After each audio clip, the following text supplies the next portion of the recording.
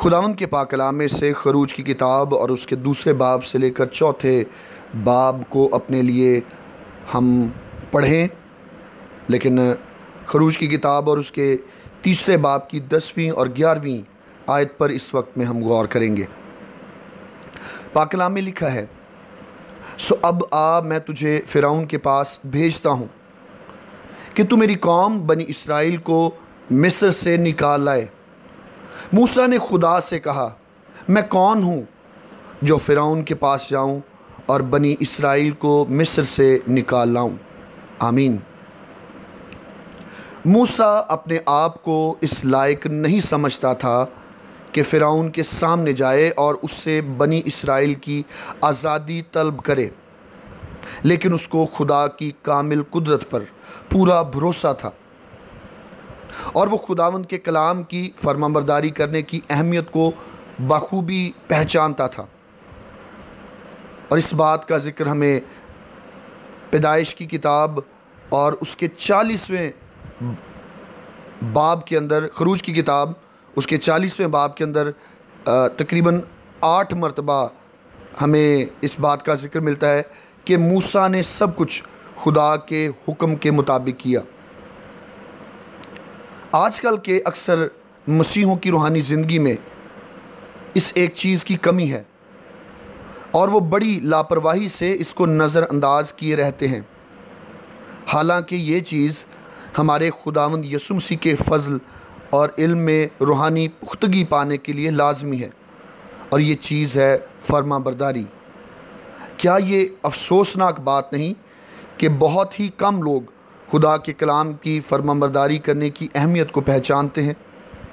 फर्मा बरदारी की ज़िंदगी कलाम के ज़रिए मसीह से रोज़ाना रफाकत से ही मुमकिन हो सकती है।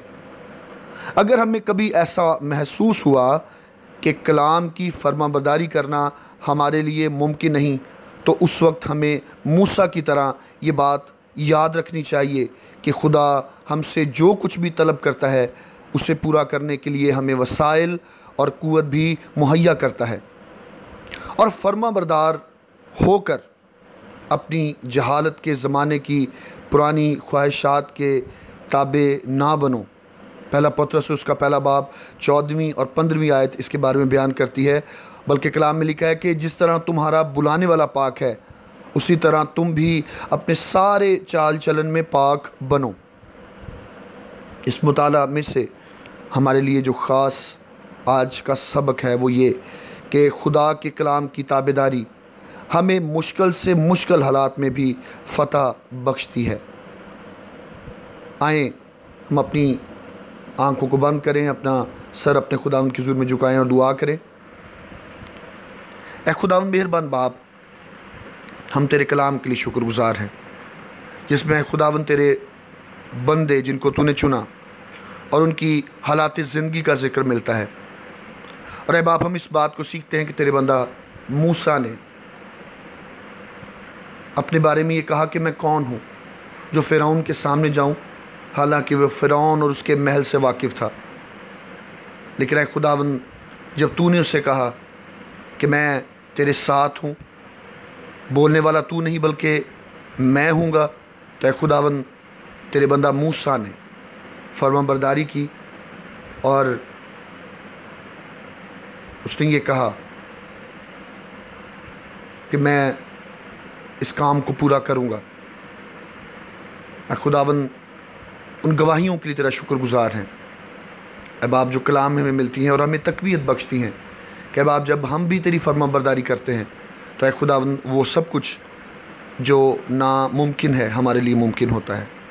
दुआ करता हूँ कि खुदावंद इस वक्त अगर कोई भी ज़िंदगी जो इस कलाम को सुन रही है, उसकी ज़िंदगी में कुछ ऐसा है जो उसके लिए मुमकिन नहीं हो पा रहा तो अब आप उस ज़िंदगी को ये तोफ़ी बख्शना कि वो तेरी ताबेदारी और फर्मा बरदारी में आए, ताकि अब आप उन मुश्किल हालात में तो अपने लोगों को फ़तह बख्शे।